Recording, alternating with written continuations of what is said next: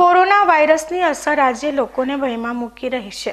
લોકો કોરોના વાયરસના ભયના કારણે અનેક કામો અટકાવી રહ્યા છે. તો બીજી તરફ કોરોના વાયરસથી હાલમાં તેની સીધી અસર બનાસકાંઠા જિલ્લામાં પણ જોવા મળી રહી છે. કોરોના વાયરસની અસર લોકો ઉપર ન થાય તે માટે બનાસકાંઠા જિલ્લામાં યોજાનાર તમામ મોટા કાર્યક્રમો રદ કરવામાં આવી રહ્યા છે. ખાસ કરીને ડીસા ખાતે યોજાનાર આરોગ્ય ચકાસણી કાર્યક્રમ માટે આરોગ્ય વિભાગ દ્વારા તમામ પ્રકારની તૈયારીઓ કરી દેવામાં આવી હતી. આરોગ્ય ચકાસણી કાર્યક્રમ અંતર્ગત તમામ ડોક્ટરો અને ડીસા શહેરની જનતાને પણ આમંત્રણ આપી દેવામાં આવ્યું હતું. પરંતુ કોરોના વાયરસની અસર લોકો પર ન થાય તે માટે આ કાર્યક્રમ રદ કરવામાં આવ્યો હતો. આ અંગે ડીસા આરોગ્ય વિભાગના ડોક્ટર જિજ્ઞેશ હરિયાણીએ જણાવ્યું હતું કે હાલમાં કોરોના વાયરસની અસર અનેક દેશમાં જોવા મળી રહી છે, જેના કારણે લોકોમાં ભય પણ જોવા મળી રહ્યો છે.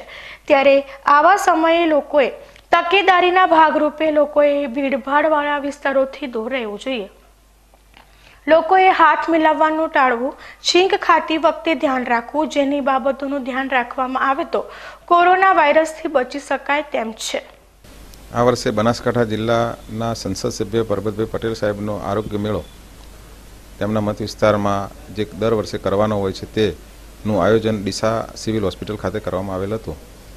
પંદર ત્રણ બે હજાર વીસના રવિવારના રોજ.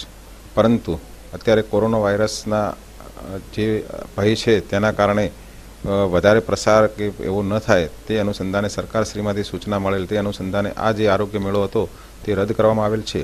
તેના માટે જે પૂર્વ તૈયારી રૂપે પેમ્પલેટને એની વેચણી કરેલી હતી, પ્રચાર કરેલો હતો, તેના ભાગરૂપે રવિવારે જે પબ્લિક પ્રજા તપાસ લાભાર્થીઓ જે તપાસમાં અર્થે આવશે, તેમને આરોગ્યવર્ધક ઉકાળાનું વિતરણ કરવામાં આવશે અને સામાન્ય શરદી, ખાંસીની તકલીફ હશે તો એમને તે પ્રમાણેની દવા આપવામાં આવશે.